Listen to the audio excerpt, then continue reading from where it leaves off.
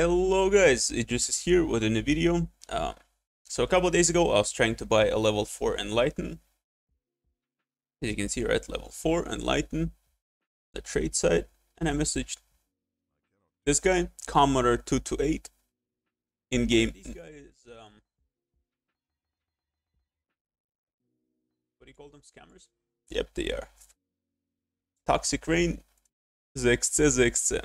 Uh, this is his in-game name, right?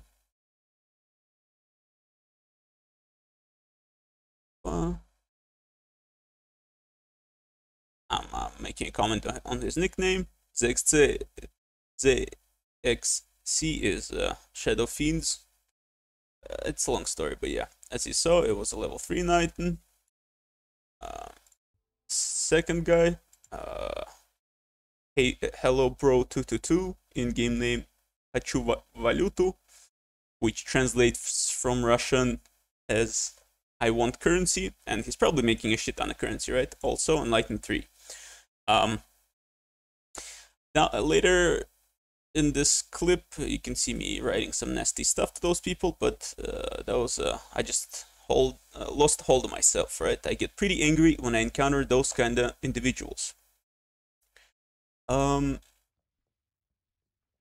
I've been scammed before in PoE. I uh, not really big time, but like I was buying a four exalt or like a three exalt foil when I was just starting playing. Right, it was my first build ever, consecrated path chieftain.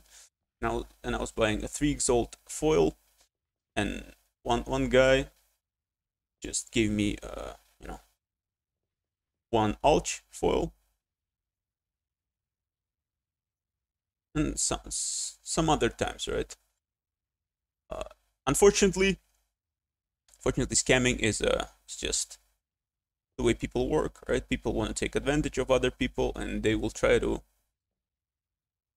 do that. But it is in, in like all those scams that I encountered and experienced are my my uh, what do you call it responsibility because I didn't take take my time checking. I was uh, I was either like worried or it, it was a big trade for me. You know, I was I was I was taking the lower ground, which in fact I am as much as much as much a part of that transaction as the other guy. You know, and you you guys as well.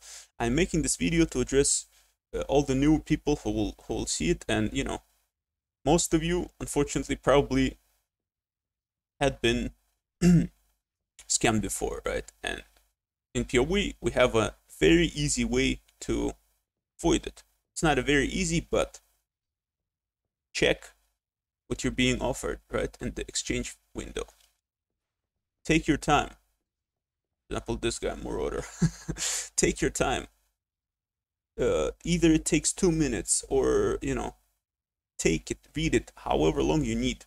If the other guy is like, you know, what it take what's taking so long and he's like uh, or they're you know irritated and or anything. You just make a new trade right? TradeLeak is beautiful for that. There's there's not a lot of instances where you know you cannot get a similar item.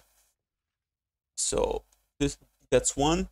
And second um if you're doing a big trade and you're planning to do like uh series of big trades, you should always check your uh, trade, what do you call it, partner.